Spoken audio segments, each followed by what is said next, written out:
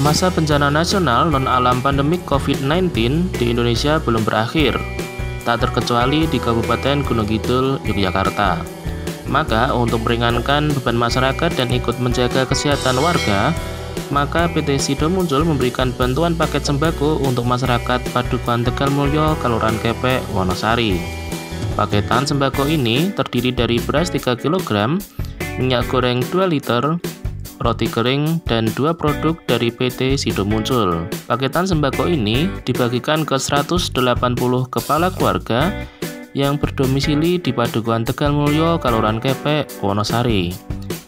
Pak Duko Tegal Mulyo menika mewakili teman dari perusahaan Sido Muncul.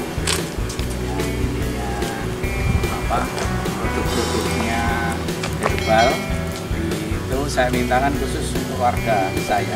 Di sini dan Mulyo mudah-mudahan bermanfaat. Mudah-mudahan ini tetap standar covid. Nah makanya Pak Babin sama dari Polsek Wonosari ikut melakukan bantuan dan pengawasan supaya semuanya berjalan lancar tetapi juga protokol kesehatan terpenuhi. Jadi, makatan.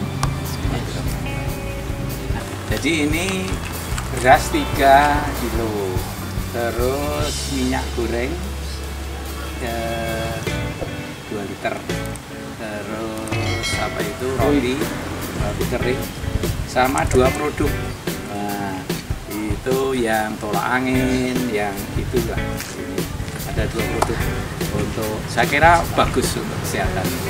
Karena juga ke uh, satgas covid pusat situ muncul juga membantu saya termasuk salah satu advisor di sana. 180 kakak 180 rumah tangga. 180 rumah tangga warga Padukuan Tegal Mulyo 8 RT ya eh, bisa mengurangi beban atas eh,